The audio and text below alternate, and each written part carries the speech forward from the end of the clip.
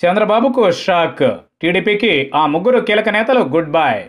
ఈ ఏడాది జరిగిన అసెంబ్లీ ఎన్నికల్లో కేవలం ఇరవై మూడు సీట్లు సాధించి ఘోర పరాజయం పాలైన టీడీపీకి బ్యాడ్ టైం కొనసాగుతూనే ఉంది. అధినేత చంద్రబాబు నాయుడు స్ట్రాంగ్గానే ఉన్నప్పటికీ టీడీపీలో ఇన్ని రోజులు కీలకంగా ఉన్న పలువురు పార్టీకి గుడ్ బై చెప్పేశారు. వారిలో కొంతమంది వేరే పార్టీ కండువాలను కూడా కప్పుకున్నారు.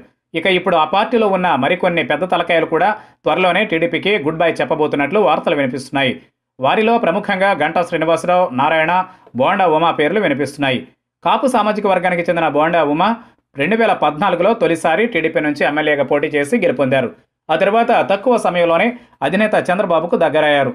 అంతేకాదు అప్పటి ప్రతిపక్షం వైసీపీపై అవకాశం వచ్చినప్పుడల్లా స్వరాన్ని పెంచి మరీ ఘాటుగా విమర్శించేవారు. కానీ రెండు వేల పంతొమ్మిది ఎన్నికలకు ముందు నుంచి పరిస్థితులు మారిపోయాయి. పార్టీలోని కొందరు నేతల తీరుపై అసంతృప్తిని వ్యక్తం చేస్తూ వస్తున్న ఆయన ఎన్నికల తర్వాత పార్టీ ఓటమితో ఆయన తీరు మారిపోయింది. పార్టీ కార్యకలాపాలకు దూరంగా ఉంటూ వస్తున్నారు. ఈ నేపథ్యంలో ఆయన టీడీపీకి గుడ్ బై చెప్పే యోచనలో ఉన్నారని ఎప్పటి నుంచో వార్తలు వినిపిస్తున్నాయి. మరోవైపు వైసీపీలో చేరేందుకు బోండా ఉమ ఆలోచిస్తున్నారని సమాచారం. దీనికి సంబంధించి వైసీపీ నేత ఆమంచితో ఆయన సంప్రదింపులు జరిపినట్లు తెలుస్తోంది. ఇక బోండా ఉమా దారిలోనే చంద్రబాబు మంత్రివర్గంలో కీలక పాత్ర పోషిస్తూ వచ్చిన గంటా శ్రీనివాసరావు కూడా ఆ పార్టీకి గుడ్ బై చెప్పి వైసీపీ వైపు చూస్తున్నారని తెలుస్తోంది. తన రాజకీయ జీవితాన్ని టీడీపీతోనే ప్రారంభించిన గంట ఆ తర్వాత మధ్యలో పార్టీని వీడినప్పటికీ రెండు వేల పద్నాలుగులో మళ్ళీ సొంత గుట్టికే వెళ్ళారు. ఇక రెండు వేల పద్నాలుగు రెండు వేల పంతొమ్మిది వరకు చంద్రబాబు కేబినెట్లోనూ పనిచేశారు. ఇక ఈ ఎన్నికల తరువాత ఈయన కూడా పార్టీని వీడబోతున్నారని వార్తలు వచ్చాయి.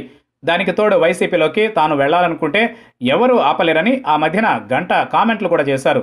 అయితే వైసీపీలోకి ఈయన రాకను కొంతమంది వ్యతిరేకిస్తున్నారని గాసిప్లు వినిపించినా ఇప్పుడు గంట చేరికకు అధిష్టానం నుంచి గ్రీన్ సిగ్నల్ వచ్చిందని తెలుస్తోంది. దీంతో త్వరలోనే గంట కూడా వైసీపీ కండువాన కప్పుకొనున్నారని సమాచారం. అయితే బోండా గంటా చూపు వైసీపీ వైపు ఉంటే మాజీ మంత్రి నారాయణ చూపు మాత్రం బీజేపీ వైపు ఉన్నట్లు తెలుస్తోంది. గత కొన్ని సంవత్సరాలుగా టీడీపీకి ఆర్థిక స్తంభంగా నిలిచిన నారాయణ పరిస్థితి ఈ ఎన్నికల తరువాత బాగా మారిపోయింది. ఎన్నికలకు ముందే ఆయనకు సంబంధించి విద్యా సంస్థలపై ఐటీ సిబిఐ దాడులు జరిగాయి. ఇక అధికారంలోకి వచ్చిన తరువాత సిబిఐను రాష్ట్రంలోకి అనుమతిస్తూ జగన్ ప్రభుత్వం ఉత్తర్వులు కూడా జారీ చేసింది. దీంతో మళ్ళీ ఎప్పుడైనా దాడులు జరిగితే ఆయన విద్యా సంస్థలకు ముప్పు వాటిల పరిస్థితి తప్పకపోవచ్చు.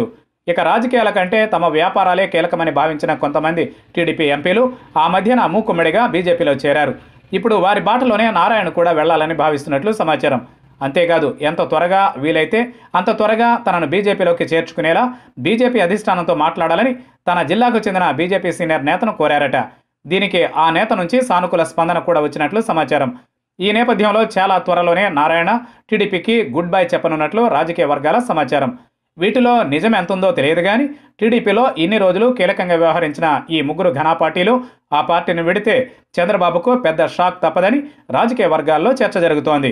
ఇప్పటికే పార్టీకి చెందిన సీనియర్ నేతల వరుస హఠాన్ మరణాలతో బాధపడుతోన్న ఆయనపై ఈ రాజకీయ వలసల టెన్షన్ పడే సమయం దగ్గరలోనే ఉందనే వార్తలు వినిపిస్తున్నాయి.